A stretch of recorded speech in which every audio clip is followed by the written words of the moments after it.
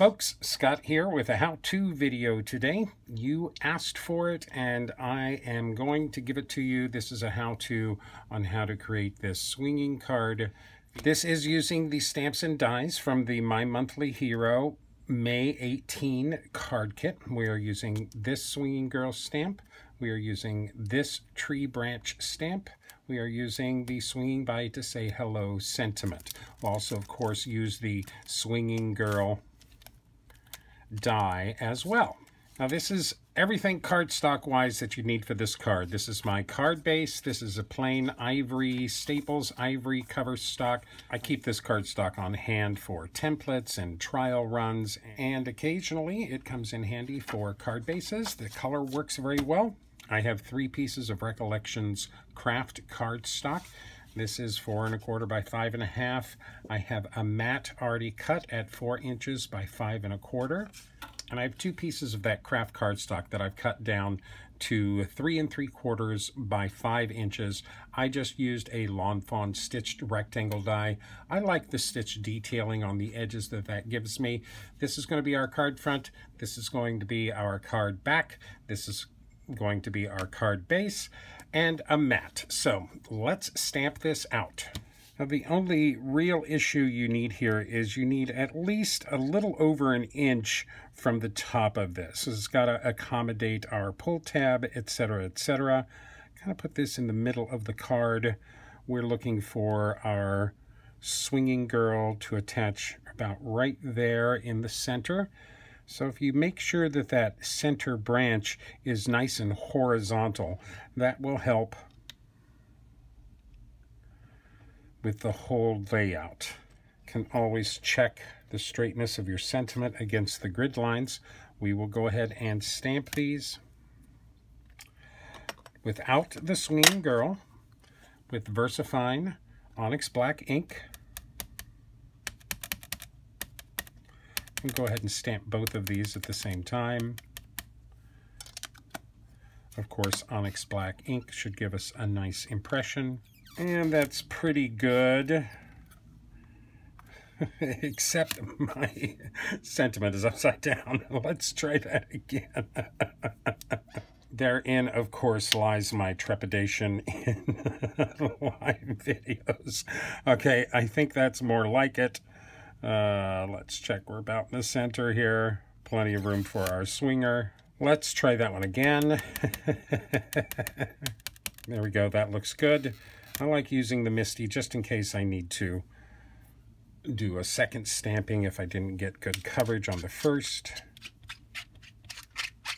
That looks good for our first stamping. Now we'll take the sheet that has not been cut down and we will stamp our swinging girl on this stamp. Now you want to leave plenty of room above the girl for the extension of her swinging strings. For extension on the rope, you're going to die cut this out with partial die cutting. So just stamp this on your third piece. That's a good impression. Now the die cuts in this kit cut out a little line around your stamp. So it's not directly cutting right on the stamp. So that's why I matched my swinging stamp paper with the background paper. So you don't really notice the extra paper around the edges. So let's get this lined up as good as, as close as we can now we're going to do some partial die cutting on that piece, which I think most everybody knows what partial die cutting means, but we'll demonstrate here in case you don't. So my cutting plate on the bottom, I do have a metal shim on my Cuttlebug. Now I don't want to cut the top of this die cut. I want the strings to go longer. So I will put my top plate below the top of that die cut. So the machine will die cut everything below the top plate. It will not die cut anything above the top plate. I often find it easier to do the no cut part on the tail end of my cut instead of trying to lead in with that. So again, your top plate is not covering the top of that die cut, so it should not cut the top of that die cut. We want to extend that longer. So that gives us our die cut girl without the top part of her swing cut out. So we want to make that string longer. So I'll just take a ruler and a craft knife. Line that up with that cut line along those strings and just extend that further. As much as you want to go. We'll cut off the excess later. That's one side. Put your craft knife in the cut. And now we have a really nice long string, swinging string for the girl. So there we have our swinging girl with an extra long swing string. We are going to need a pull tab for our card. So from the same piece of cardstock, I'm going to cut 5 eighths of an inch for my pull tab. I thought a half an inch was a little short. I thought three quarters of an inch was a little fat. I found that a 5 eighths inch pull tab works very nicely. So while we still have our stamp pad out, I'm going to go ahead and use my corner chompers to chomp the corners of one end of this pull tab. This is the quarter inch side. There you go, nice and smooth, nice and even. Then I do reach for my favorite things, interactive labels. Very cheap, inexpensive stamp set. We're going to stamp a pull on the end of our pull tab here. I, of course, love using my MISTI just in case. That looks pretty good. We'll stamp that again with our Versamark Onyx Black ink.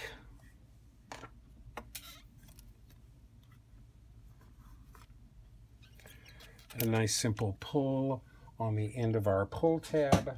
That should be all the stamping we need for our card today.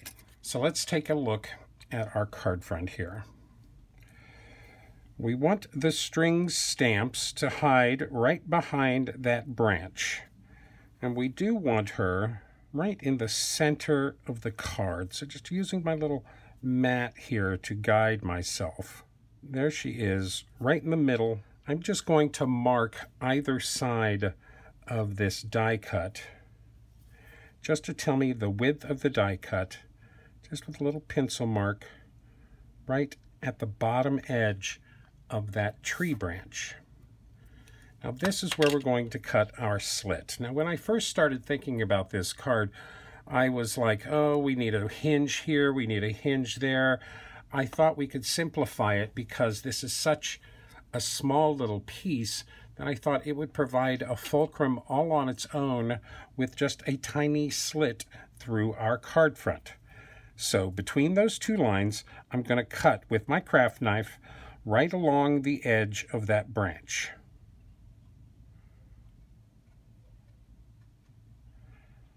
Just from pencil mark to pencil mark. Now because cardstock is thicker than a cut from a blade, I'm going to open that up a little bit and cut a matching line just below that, just below the both of those. Turn it around here, just below that first cut. So I create more of a slot opening than a slit opening. Connect the edges, and there we have our slit has turned into a slot so it can accommodate the width of the paper. So once you've got that slot cut, you can erase your pencil marks. You can see that the swinging die cut will slide right through there.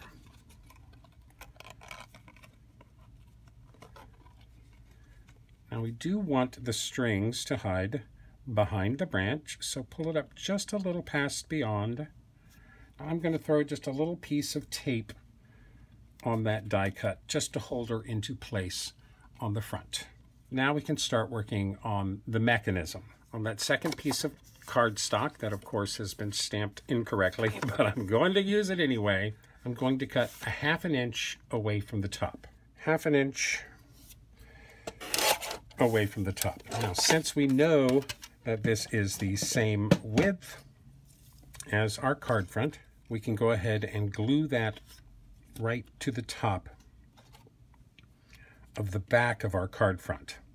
And we're doing this to create a channel for the pull tab to move in.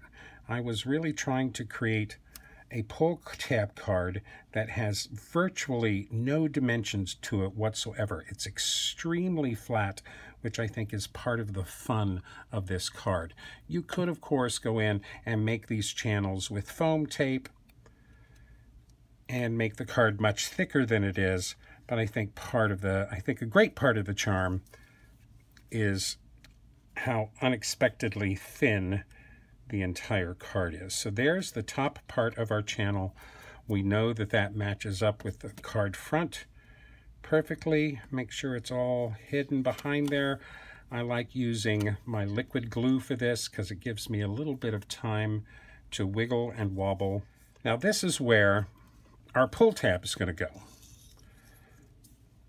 It's going to go right there and slide so we know we need another 5 eighths inches off of our spare piece here. So we're going to cut another 5 eighths of an inch off. That is going to be the width of our pull tab. And if we make these cuts accurately, I'll just show you a little mark there.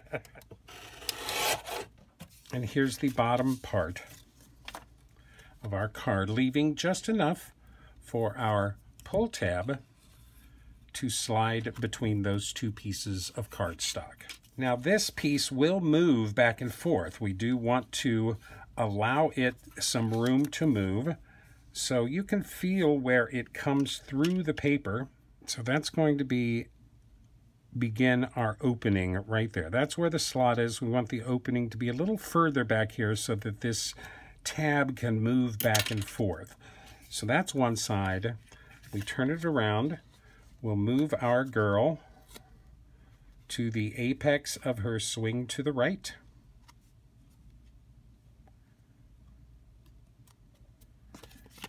Turn it around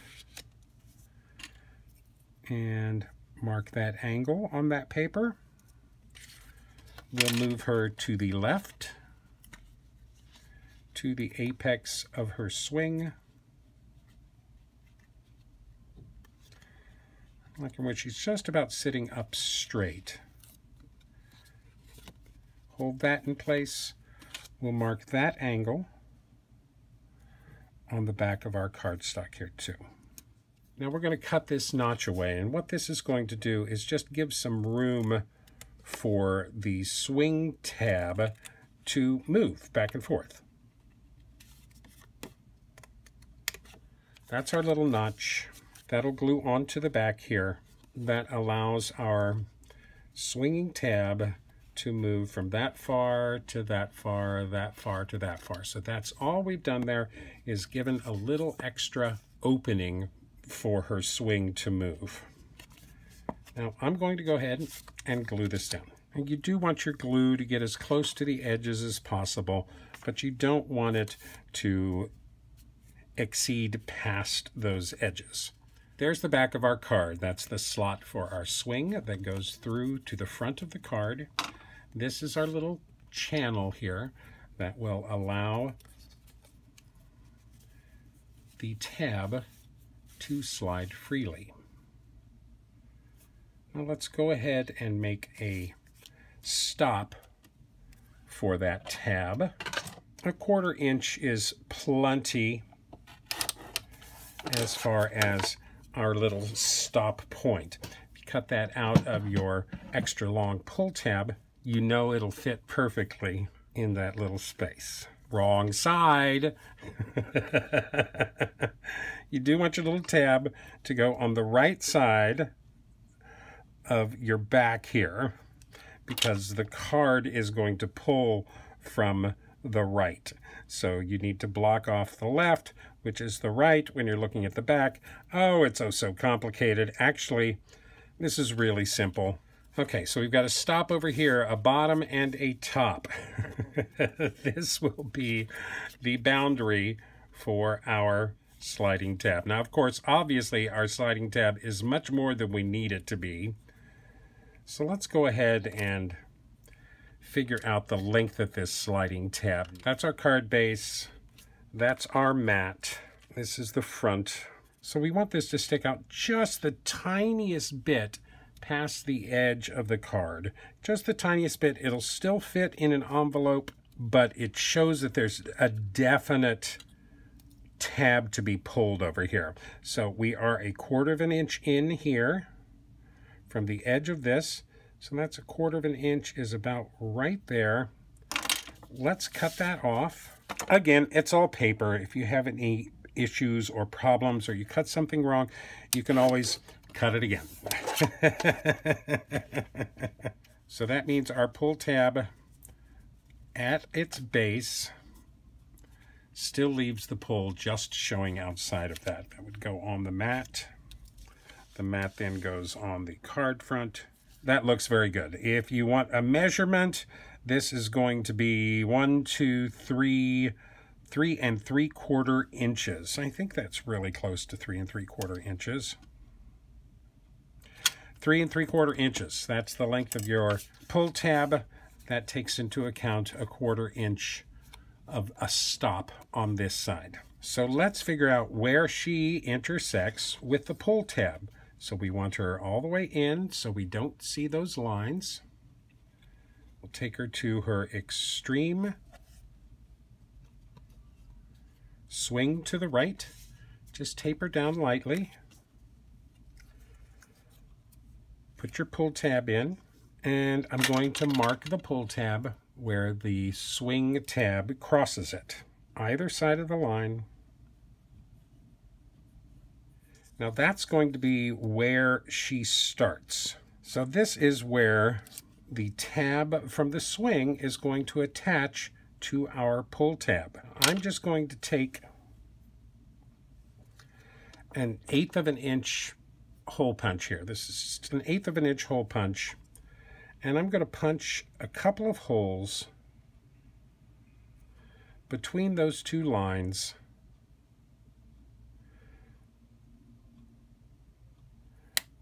about in the center of that pull tab.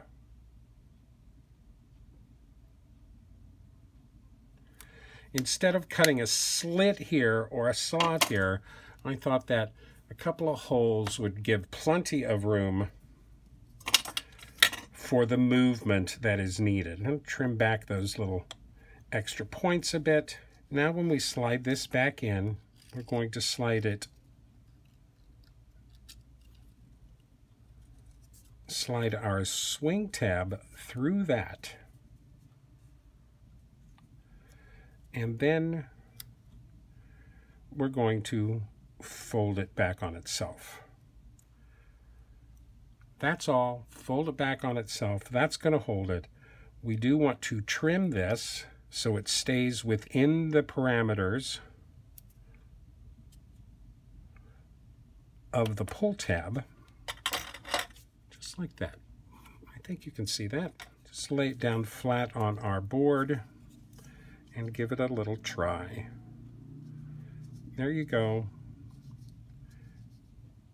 She's swinging that is in its slot. She's actually, her strings are actually exposed just a little bit. So I'm going to take that where I folded that and I'm going to fold that just a little bit further. It's a little bit further. That should keep her string from becoming exposed as she travels back and forth. That is basically it. that is basically it, ladies and gentlemen. It is so, so simple. That is all we're dealing with here. The little double holes allow that piece to move freely. We will glue this all down to our card front. Let's assemble this card. I've got a nice piece of dark brown textured cardstock for this. I think I used my Pearlescence cardstock for my first card, but I found this in my stash. This is a great mat. We do need to still cut a finger notch for this. So we'll put these together, add this to our card front. One of my least favorite activities, trying to get everything squared up. Let's put this in the approximate place where we're going to use it, and we can mark on our card base. I have an old one inch hole punch. Let's try and mark just the center of that, just a little beyond half here. And I don't want to cut the back of the card, just the front of the card, just enough to grab onto that. Erase our guidelines again. And now we're ready to glue this puppy down. Now, in order to help hold the tab in place while we're gluing. I'm going to take a nice piece of tape and just tape the end of that pull tab to the front of the card right where it's supposed to be. That'll hold it in place pretty well. This is butted up against its stop over here. The swing is through the holes and let's glue this baby up. Again, you want to be close to the edges, but not on top of them. Not too much glue so it doesn't ease out all over the place. You could use, of course, double-sided tape for these. I like a little wiggle room. Once this is glued flat, there's very little chance of things coming undone. Center that on our mat. That looks pretty good. Before we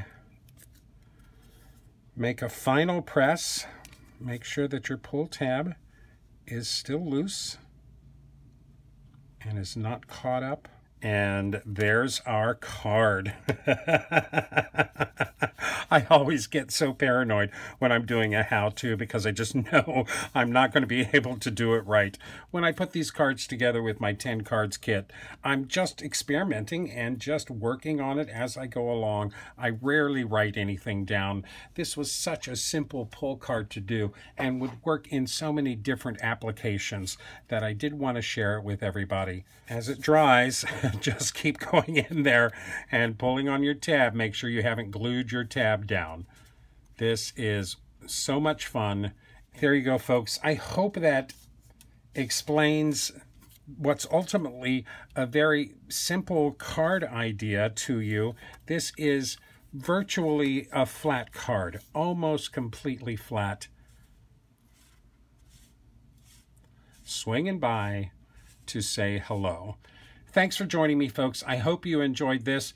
I hope you don't laugh too hard at my mistakes. and I do hope you give this a try. Swinging by to say hello all of those folks that got that stamp set, this is just a lovely interactive card to send to anybody. Thank you so much for joining me today. Please, please, please let me know if you give this a try and if you are successful. Thanks so much for sharing your time with me today. Please like me, list me, pin me, post me, share me with all of your friends. Don't run with scissors. and of course, as always, happy crafting.